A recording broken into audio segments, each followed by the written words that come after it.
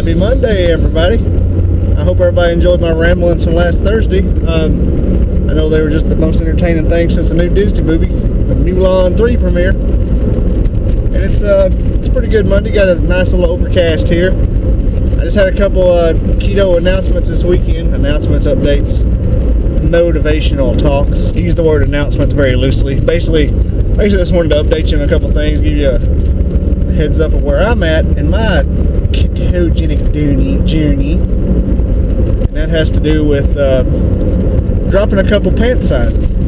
I went down from a 38 that I've been at since college to a 34, uh, parentheses, at Old Navy. You know, I wore a size 38 khaki at Old Navy forever, and now I wear a size 34. That's two pant sizes since January, pretty much. You know, I've been on, I've been in, uh, been doing low carb keto stuff since August of 2016, but I didn't know what keto was until about November, or December of last year. And before then, I thought you just ate stuff that was low in carbs.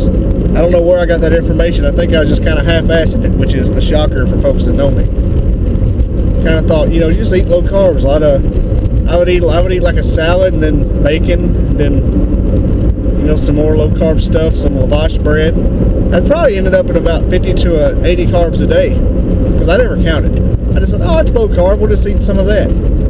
But I still lost that water weight, so I knocked off that first 20 pounds, you know, pretty quick. Kept it off because I would, you know, I would go, I'm going to go low carb again, and then I would cheat, low carb, cheat. And then January, I started. I somebody told me about, somebody told me what I was trying to do was called keto.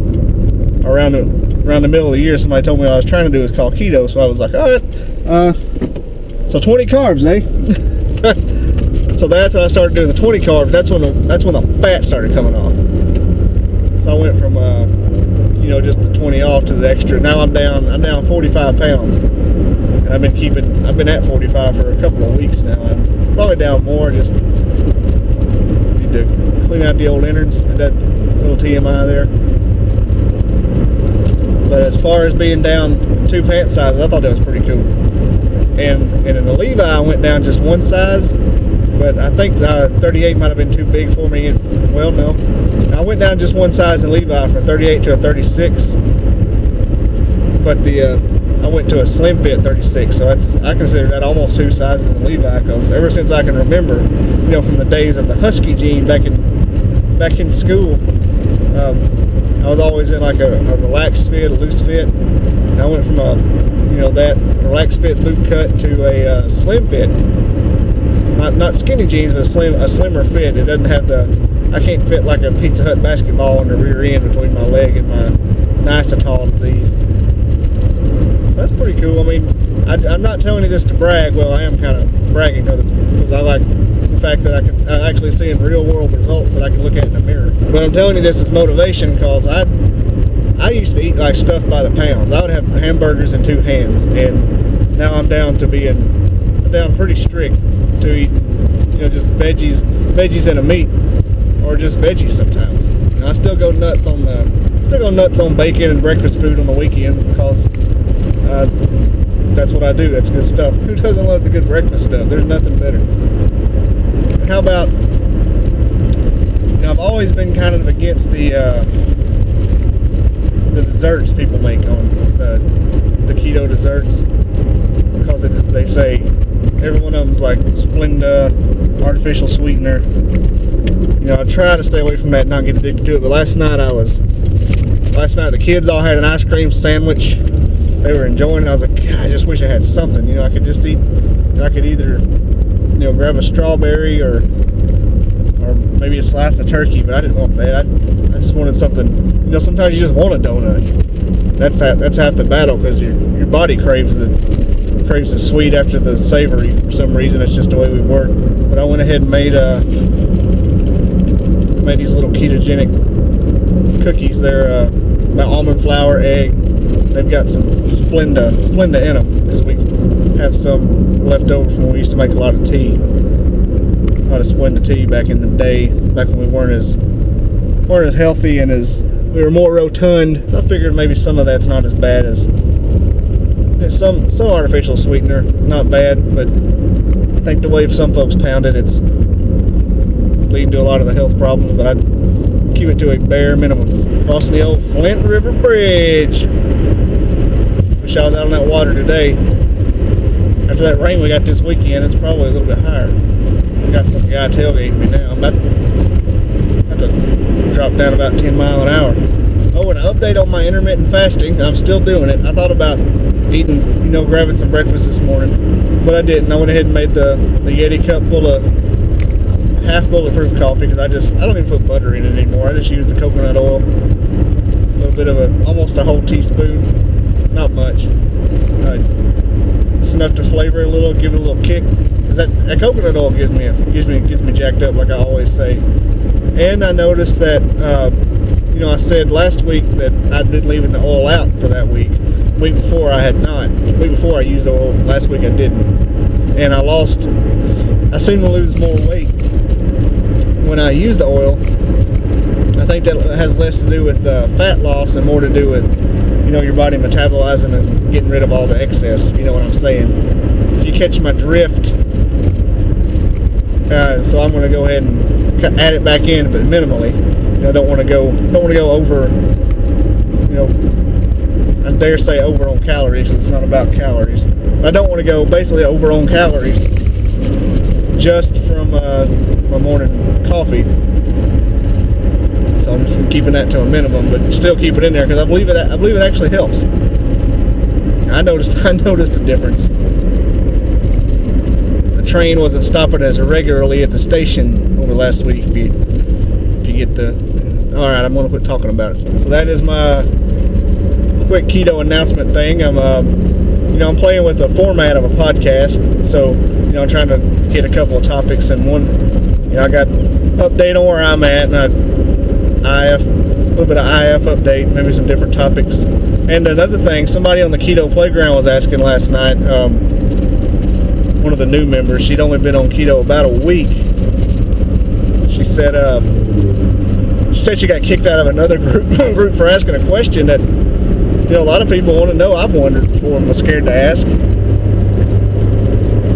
you know, she said, uh, can she go keto through the week for six days, and on Sunday, you know, pound pound some more carb-enriched food. The reason she asked is because she had lost um, lost a lot of weight. I think three to three or five pounds. I can't remember now because it was late when she did was talk telling me.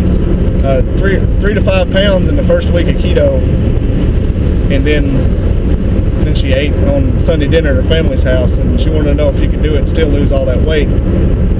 I said, yeah, initially you can lose a bunch of weight by doing that because I lost the 20. That's what I was getting at when I first started the video. I lost the 20 and I didn't even know what, what keto was. I was just eating straight up low carb stuff all the time, just cutting out all the sugar. Yeah, but you will lose that 10 to 20 real quick, and you can probably cheat a lot in the first few first few weeks. And she was saying that she only wanted to lose 30 pounds, so I'm thinking you may get by with it. I mean, if, if your goal weight is only you know 20 to 30 pounds, you can probably cheat the first six weeks of it a lot if you're really strict through the week. but if you want to keep it off, or if you want to lose a lot like me, I want to lose, uh, I think 60. I wanted to lose 80 pounds when I started. 50, 50 was my first goal, and then 80 was my second. You know, go from 258 to, to 170. So I can't, I can't cheat, but maybe once every two months, maybe. That's only like over a weekend. You know, right now I'm sitting at about 210, 213. I'd say I'm probably about 210 now, if, if all things, if everything was gone from me, about 210. Maybe, maybe less, maybe like 208. I don't know. I don't want to put myself. But right now I'm sitting in a really good weight. Like I, um, all my clothes are fitting better. You know, I, mean, I went down to a new weight class. I even bought that those jeans that are a few sizes small that were smaller than I usually wear, so I could have something to grow into for the next couple of months. But when I get to 170, God knows when that's going to be. Maybe by the end of the year. I'm not going to rush it. As long as I get there eventually. When I make it down to 170, that's when I'll. Uh, you know, do you do maintenance or do you go on a lower? You go on like a more balanced diet where you eat kind of regular food. I don't know. it's going to be a tough call there. My mom was asking me about it yesterday. What are you going to do when you reach your goal weight? You going to keep doing that? I'm like, well, I, I can't keep doing 20 carbs a day because I'll drop I'll drop pounds.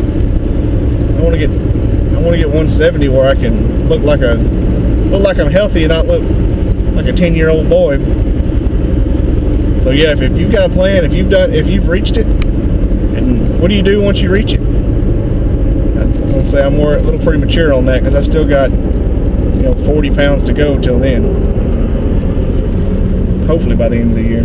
I know this thing was just interesting it could be. I just wanted I wanted to throw up a video and I wanted to test out, try to do some, try to do things more, more often, do a video more often, you know, maybe and start the podcast. I started cleaning my desk off this week, this weekend. I, I went back there this morning to get a check for daycare and I looked and the desk was kind of clean, about half of it. I said, man, what, what did I do? Apparently I got really motivated one night this week, weekend. I didn't even notice. I didn't even remember it. Not like I'm a drunk or anything just happened. Took some keto Adderall. Do they make? Do they make that?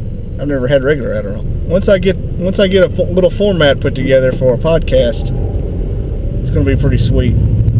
I would love to have people on as guests and stuff. Uh, have like a Skype setup. I don't know how many of you watch podcasts or listen to podcasts, but they'll have a you know they'll have a Skype set up and people can make comments and you answer questions. And I'm I'm pretty sure a lot of the material come from the weekly discussions out of the playground playground group. Because we're getting some heated ones on there sometimes. Especially as we add more and more members. We're almost to 400. Um, maybe one day we'll get, when we get closer to a thousand, like the bigger the bigger groups, when they get they get uh, stuff in there all day because they they got you know 10, 20,000. Some of them got like 70,000 in there, and they just go and go and go. And I'll pick out some discussions and make those suckers a whole podcast. That God, it's going to be great. This stuff's so much fun to talk about because it, as many people that do it, there's that many more that don't don't know it, that don't do it. You got them coming in, they're desperate. Always see people. I just want to. I want to diet, but you know, I just love my cake. Well, everybody loves their cake. Like my buddy Coots, who's on the keto playground, always says. Of course, I love cake. Who doesn't love cake? I just don't want to die at 30 because of it. And I love I love French fries and nachos, but damn it, I like fitting in the smaller clothes too. And it's almost pretty much worth it. The fact that stuff just looks good on me now, instead of looking like I'm stuffing 10 pounds of shit in a five pound sack. It's a tit for tat situation there. So I'll close her on out because I'm just rambling on now because I, I need to start writing down a layout for these things. I just grabbed the camera this morning, saw it sitting there, so I'm gonna grab a camera, make a vlog, talk some smack, see what happens. That's how it is. I'm gonna wrap this thing up, and everybody, don't forget to like, comment, and subscribe because I know you had it on your calendar. Just don't forget. I don't know why people say that. Like you're gonna remember anyway. Like, comment, subscribe. Join the uh, Keto Playground on Facebook where there are no keto Nazis allowed. I may make that my intro fun too. I've been rambling on this about 20 minutes in. No, not all of them will make it. To like, comment, subscribe. Join the Keto Playground on Facebook where no keto Nazis are allowed. And we talk, you can ask any question. Nobody's gonna, nobody's gonna report you to the admin for saying the word cheat or sugar. And you don't have to post every recipe that's just bacon wrapped in bacon on top of bacon, wrapped in cheese, wrapped in lettuce, wrapped in egg, because that's just stupid. That stuff, that flavor gets old. That flavor gets so old. It got old for me the first week before I even knew what keto was. Keep calm and keto on, folks, and we will see you tonight.